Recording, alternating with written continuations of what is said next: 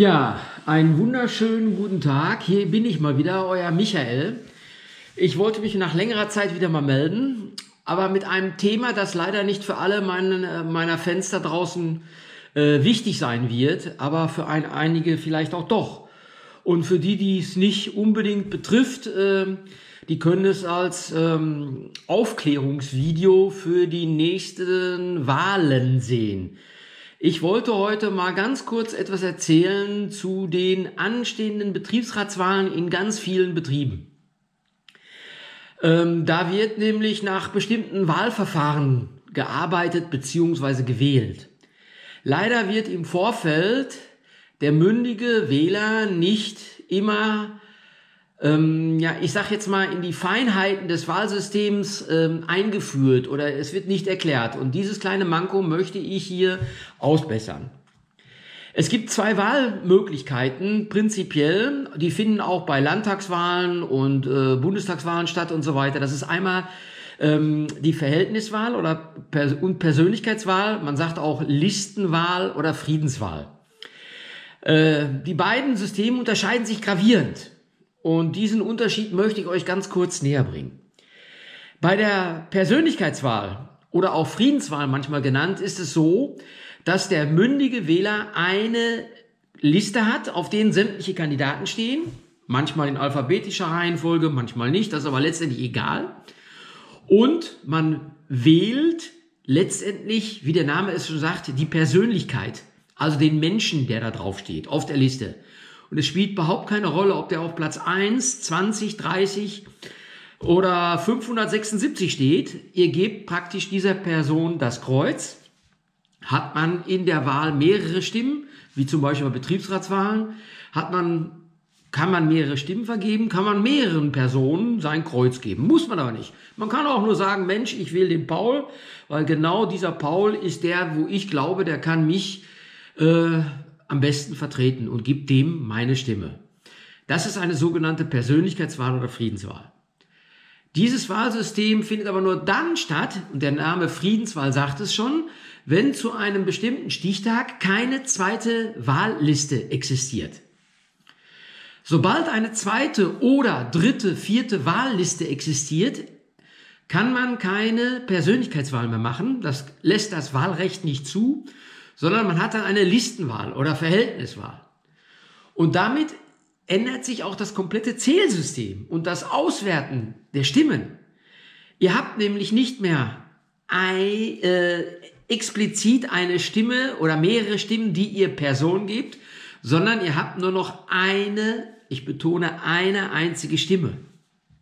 Und diese eine Stimme müsst ihr, könnt ihr, sollt ihr weil ich finde, wählen gehen sollte jeder. Das ist ein demokratisches Recht, von dem wir Gott sei Dank Gebrauch machen sollten. Also ähm, ihr habt nur eine einzige Stimme und die gebt ihr einer Liste. Der Liste 1, 2, 3, wie viele Listen auch bei der Wahl dann existieren. Ihr gebt dieser Liste eure Stimme. So, jetzt fragt ihr euch natürlich mit Recht, haha, wie läuft das denn dann mit den Personen? Zumal auch entsprechend Werbung im Vorfeld betrieben wird. Da werden Wählerlisten ausgehangen, man sieht Leute, die einen anlächeln und so weiter. Es kann aber dann Folgendes passieren, dass wenn ihr auf einem so einem Wahlplakat Menschen seht, wo ihr sagt, boah, den finde ich toll und sympathisch, und ihr wählt dann nicht diese Person, sondern diese Liste, weil ihr könnt nicht den Paul wählen, sondern ihr müsst die Liste wählen, auf denen der Paul steht, dann müsst ihr euch bitte im Vorfeld informieren, welchen Listenplatz hat denn dieser Paul? Wenn die Leute, die sich wählen lassen wollen, beziehungsweise die Liste, die sich wählen lassen will, pfiffig war, dann stehen auf dem Wahlplakat die Listennummern. Das heißt, ihr könnt sehen, aha, beim Paul steht die 5. Warum das so wichtig ist, erzähle ich euch gleich. Oder die 6 oder die 1 oder die 2. Stehen da keine Nummern auf dem Plakat? Ist das blöd? Weil ihr müsstet nachfragen. Ihr müsstet nachfragen, halt, stopp, äh, äh, äh, ich finde den und den ganz gut, äh, mich interessiert aber der Listenplatz, weil der ausschlaggebend ist für das spätige, spätere Auszählen. Was passiert nämlich? Ihr gebt einer Liste eure Stimme. Dann wird am Ende des Wahltages gezählt, welche Liste hat wie viel Stimmen gekriegt. Liste 1 hat 1000 gekriegt. Liste 2 hat gekriegt 500. Als Beispiel jetzt mal. So. Und dann geht es los. Dann wird nämlich Folgendes gemacht. Die Liste 1 mit den 1000 Stimmen und der Listenplatz, also die Person, die die Ziffer 1 hat, das ist der sogenannte Teiler. Das heißt, die 1000 Stimmen der Liste werden durch 1 geteilt. 1000 durch 1, das kriege ich noch hin, das ist 1000. Und diese 1000 Stimmen kriegt der nette Herr, die nette Dame, wer auch immer da steht, auf Listenplatz 1, kriegt 1000 Stimmen. Wer steht an Listenplatz 2? Unser Paul. Unser Paul würde dann kriegen, wenn er auf der Liste steht mit 1000 Stimmen, 1000 durch 2. Listenplatz 2, 1000 durch 2, 500 Stimmen. Listenplatz 3, geteilt durch 3, 333 Stimmen. Listenplatz 10, 100 Stimmen. Also der Typ, der auf 10 steht, kriegt 100 Stimmen. Das Ganze wird analog mit der anderen Liste gemacht. Wenn die 500 hat, kriegt er an 1 500, 500 durch 1. Der an 2 500 durch 2. Der an 3 500 durch 3 und so weiter und so weiter. Und am Ende des Tages hat dann jeder Listenplatz seine Stimmen bekommen, die dann rechnerisch ermittelt worden sind. So, und dann wird geguckt, wie viele Personen durften, aus wie vielen Personen müssen denn gewählt werden. Ähm, beim Betriebsrat in, bei Bayer in Berchkam sind es 17. Das heißt, die 17 Personen, unabhängig auf welche Liste die stehen, mit den meisten Stimmen, sind dann gewählt. Und ihr seht jetzt sofort, ihr seid ja jetzt pfiffig, welchen Vorteil die Listenwahl bringt, dass nämlich die Listenführer und die mit einem hohen Listenplatz eine sehr, sehr hohe Wahrscheinlichkeit haben, viele Stimmen zu kriegen weil der Teiler klein ist.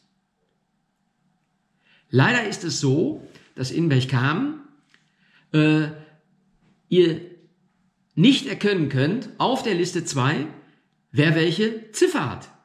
Ihr wisst nicht, ob euer Favorit gewählt wird. Ihr müsstet nachfragen. Stellt sich natürlich die Frage, ist das vielleicht mit Absicht gemacht worden? Ich weiß es nicht. Ich könnte jetzt an dieser Stelle auch meine Meinung dazu sagen, äh, tue ich aber nicht. Äh, weil wer ein bisschen logisch nachdenkt, wird vermutlich die Antwort parat haben.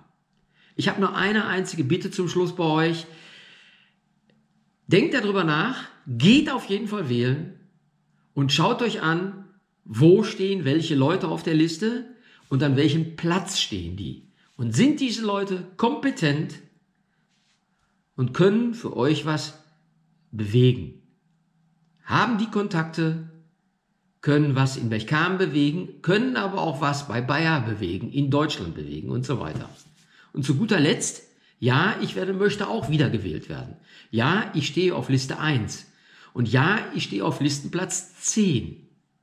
Das heißt, ich für meine Person hoffe, dass Liste 1 viele, viele Stimmen kriegt damit dann das Ergebnis dieser Liste durch 10 geteilt wird und dann so viel Stimmen überbleiben für mich, dass ich dann unter die besten 17 gehöre.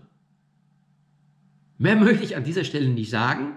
Für all diejenigen, die das jetzt uninteressant fanden, tut mir leid, aber ihr könnt das mitnehmen. Das ist das Wahlsystem und das Auszählungssystem Listenwahl nach Dehont. So heißt der gute Mann. Ich glaube, das war ein Franzose. Ich bin mir aber jetzt nicht sicher. Und nach diesem Verfahren wird dann ausgezählt. Betrachtet es als Wahlaufklärung allgemein, wenn demnächst mal wieder Wahlen sind, wo ihr Listen wählt, guckt euch nämlich an, wo ist der Typ, die nette Dame, die gut aussehende Frau oder euer Schlumpi, auf welchem Listenplatz und dann wisst ihr, was das wahltechnisch heißt, nämlich das Zählsystem nach der. Ich bedanke mich recht herzlich, hoffe, ich habe euch nicht zu sehr gelangweilt. Und bitte geht vom 15. bis 17. wählen. Danke. Tschüss.